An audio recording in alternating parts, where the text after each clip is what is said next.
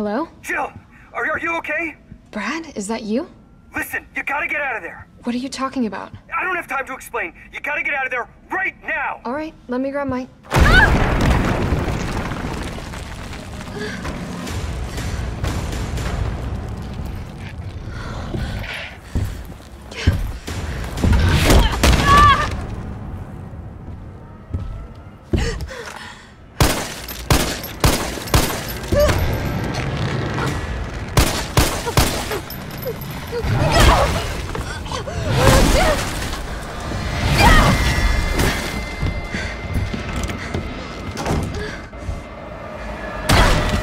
What the hell is that thing?